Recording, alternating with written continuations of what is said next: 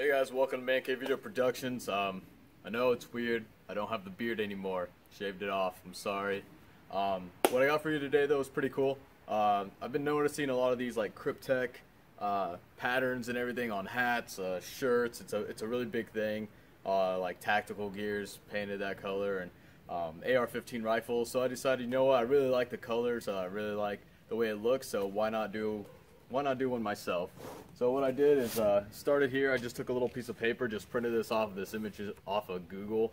Um, went ahead and took a little uh, X-Acto knife here and just cut out what I wanted. And um, gonna go ahead and continue this a little bit more maybe, and then uh, go ahead and paint up my rifle and uh, some of my magazines, and uh, we'll see how it turns out. So what I'm gonna go ahead and do first is uh, I'm gonna tape up some of the stuff. Uh, I don't want my my uh, my buttstock to get painted up uh, just because it's kind of a the rubber and stuff on it. I don't want it to be a, a, real grippy feel to it, so I think I might just keep that the same. So what I'm gonna do is tape that up. Um, I'm gonna take off my flip up sights here. Um, I don't want those to get painted, and then uh, tape up uh, some of the holes. Obviously the magazine well. Uh, tape up my muzzle flash here, and uh, and then from there, what I'll do is I'll go ahead and lay down a first coat of paint. Will just be like the base coat. Um, I got a few different colors here. And then uh, that I'll just go ahead and lay down the base coat for, or the base coat first. And then from there we'll go ahead and start with the pattern. Alright so now I pretty much got that all taped up. Uh, one suggestion I would have is uh, go ahead and grab some napkins probably or uh, a rag you don't care about. And uh, make sure you don't have any gun oil anywhere. Um, I noticed I have a little bit of like gun oil residue um, from the last time I cleaned it Alright, so what I've decided to do instead of go ahead and tape up the magazine well, I was already going to paint my magazines anyways. I figured I'd just pop one in here and uh, that'll block the inside of the magazine well from getting paint up in there and then I'll be able to just paint my magazine at the same time. So what I'm going to do now is go ahead and set that base coat down. So unfortunately the Kryptek idea kind of didn't work. Um, it just started looking like a bunch of circles which I did not like.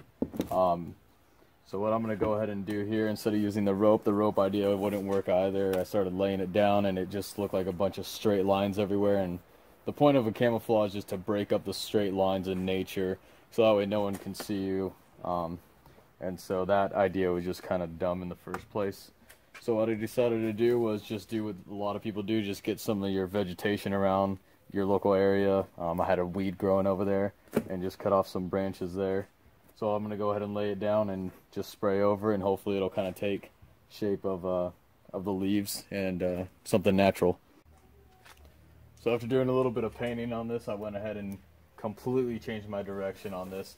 I decided to just paint over brown. I, I decided the brown coat would be a better uh, base layer than the, than the tan. So I went ahead and did that now, just covered it all up and I'm starting over from scratch basically. Alright, so I pretty much finished up here.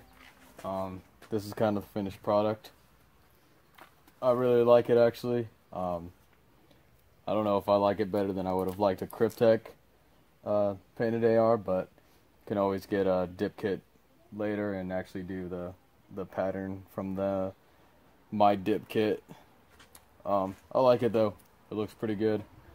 Hey everyone, thanks for watching the video today. Um, hopefully I gave you guys some pointers on uh, what to do, what not to do.